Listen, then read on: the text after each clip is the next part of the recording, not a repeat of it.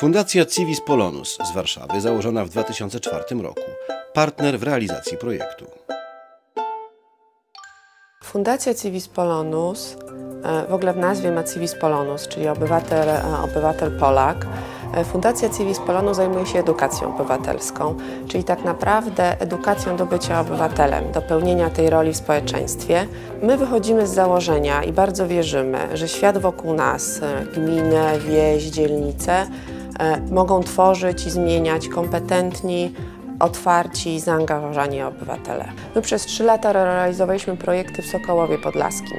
To jest miasto powiatowe w województwie mazowieckim, oddalone 100 km od Warszawy i tam realizowaliśmy projekty dla młodzieży, których celem było odkrycie swojej wspólnoty trochę na nowo.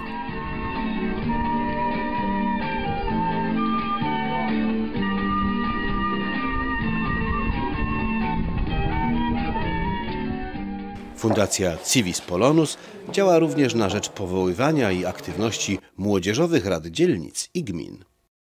Młodzieżowe rady to są grupy młodych ludzi, gimnazjalistów licealistów, które mają konsultować różne decyzje, które podejmują władze Warszawy, a dotyczą młodzieży. Młodzieży i w ogóle społeczności lokalnej. I ci młodzi ludzie zostali wybrani w szkołach, w wyborach. Musieli stanąć przed swoimi kolegami, powiedzieć jaki jest ich pomysł na to, co się powinno zmienić na woli właśnie, żeby młodym ludziom żyło się ciekawiej, lepiej i teraz te pomysły będą powoli wdrażać. To znaczy to, są ich pierwsze, to jest ich pierwsze podejście do tego, żeby powiedzieć dorosłym, radnym, zarządowi dzielnicy, co się powinno zmienić. W tych projektach, które też Fundacja e, realizuje i też, które będzie realizowała w projekcie z Małej Szkoły Wielki Świat, my bardzo kładziemy duży nacisk na to, żeby dzieci e, poczuły się u siebie i poczuły się dumne z miejsca, w których żyją, w którym mieszkają, w którym, jakby, z którego pochodzą. Fundacja Civis Polonus w projekcie z Małej Szkoły w Wielki Świat odpowiada m.in. za organizację letnich obozów naukowych na terenie Warszawy. Zależy nam na tym, aby ten czas był inspirujący, pozytywny, otwierający oczy na świat i rzeczywistość. Odwiedzać będziemy przeróżne miejsca. Zaczniemy od instytucji rządowych, kulturalnych i naukowych. Takim miejscem będzie m.in. Centrum Nauki Kopernik, jedna z najnowocześniejszych instytucji edukacyjnych w Europie. Znajduje się w samym centrum miasta, tuż przy Wiśle, naprzeciwko nowo powstającego Stadionu Narodowego.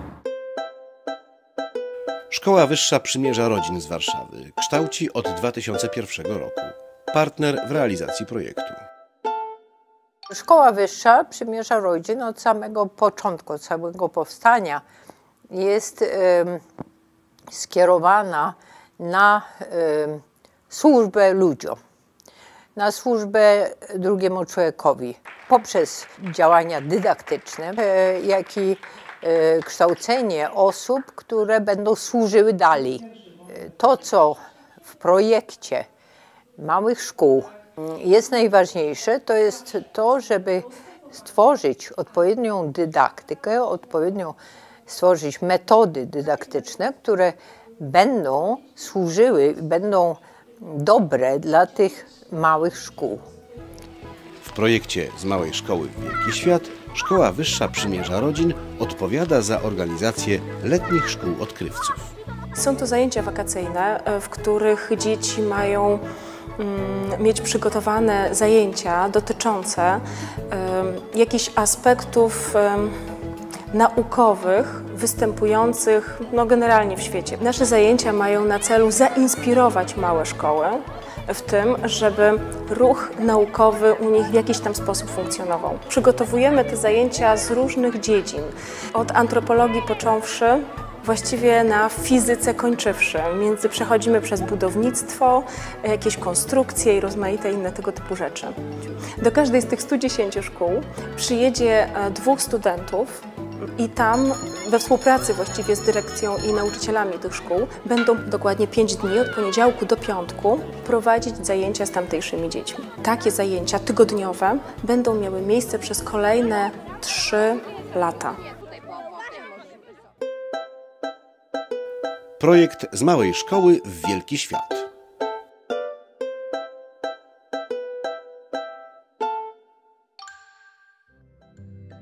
W ramach realizacji projektu z małej szkoły w Wielki Świat w każdej szkole uczestniczącej w projekcie działa pięcioosobowy szkolny zespół projektowy. Tworzą go dyrektor szkoły i czterech nauczycieli. Podczas godzin lekcyjnych oraz w trakcie zajęć dodatkowych nauczyciele pracują z uczniami w oparciu o dostarczone im pakiety scenariuszy dotyczące kompetencji matematycznych i naukowo-technicznych oraz społeczno-obywatelskich. Istotą idei jest praca metodą projektu. Projekty są realizowane w grupach zróżnicowanych wiekowo. W pierwszej grupie z dziećmi z klas od pierwszej do trzeciej i w drugiej z uczniami klas od czwartej do szóstej. Elementem wszystkich projektów jest stosowanie oceniania kształtującego. Ocenianie kształtujące przenosi część odpowiedzialności za uczenie się na uczniów. Y, Pozwala uczniom organizować i planować proces uczenia się. Y, Nauczyciele stają się partnerami w tym procesie. Można powiedzieć, nauczyciele i uczniowie grają w jednej drużynie.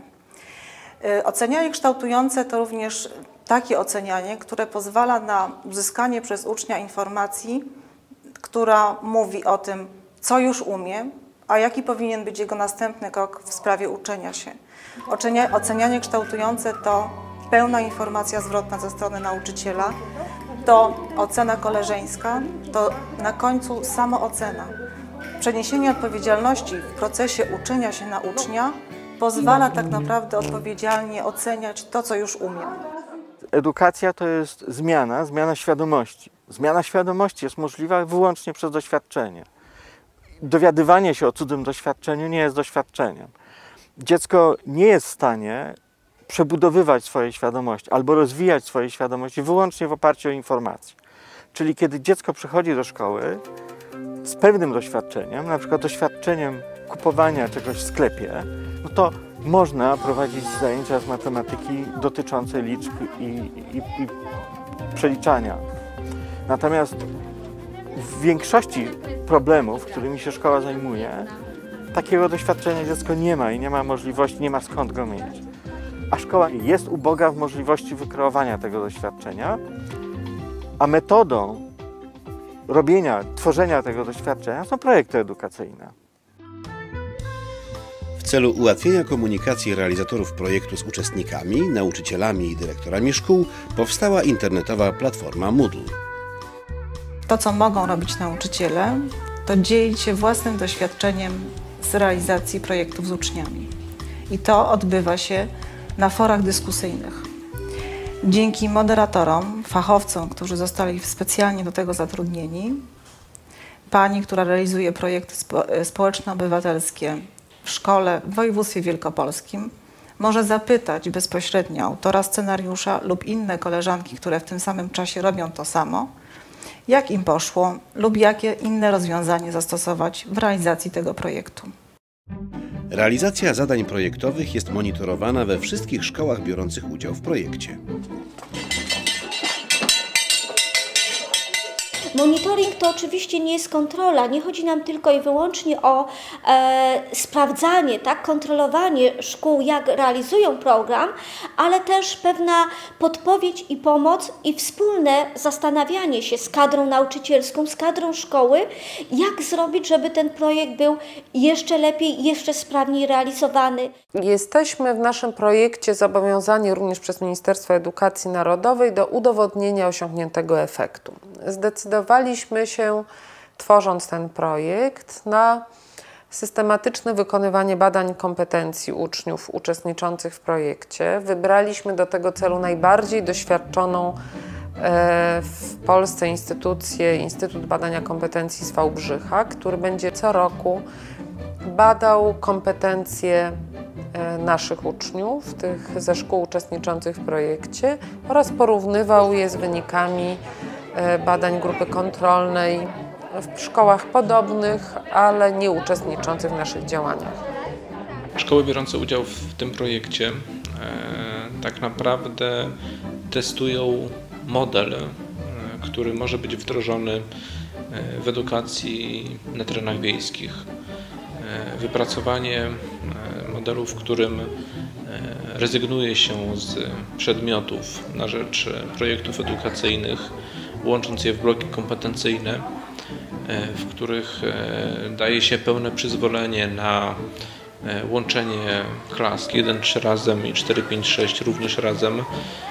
Ten model po prostu szkoły będą miały jako pewien schemat, pewną strukturę organizacyjną, którą będą mogły sobie wdrożyć, jeśli będą oczywiście chciały ich organy prowadzące. Wszystkie szkoły biorące udział w projekcie z małej szkoły w Wielki Świat wyposażane są w pomoce dydaktyczne wspierające rozwój wybranych kompetencji. Nauczyciele realizujący projekt przeprowadzają zajęcia według materiałów metodycznych przygotowanych przez organizatorów, uwzględniających aktywne formy uczenia się oraz specyfikę środowiska edukacyjnego małych szkół. W trakcie trwania projektu nauczyciele mogą również liczyć na wsparcie ze strony specjalistów w dziedzinie rozwoju kompetencji kluczowych i pracy metodą projektu. Efekcie realizacji projektu z Małej Szkoły w Wielki Świat powstanie dziewięć wojewódzkich sieci współpracy małych szkół. Projekt z Małej Szkoły Wielki Świat pokazuje również to, że nasza wioska też może być wielkim światem dla nas, dla naszej wspólnoty. I y, to jest przesłanie tego projektu. Wszędzie tam, gdzie jesteśmy my, jest wielki świat. Uwierzmy w to, że jesteśmy obywatelami świata. Wielki świat, czyli że jest większy od y, innych planet. Kulę ziemską bardzo bym chciała przywędrować. Najbardziej chciałabym dotrzeć no, do Indii. To państwo mnie bardzo ciekawi. Ich religia, tradycje i ludzie mnie też bardzo interesują. Wielki świat. Dla mnie światem jest to, co mnie otacza. Projekt z Małej Szkoły w Wielki Świat współfinansowany jest ze środków Europejskiego Funduszu Społecznego w ramach programu operacyjnego Kapitał Ludzki.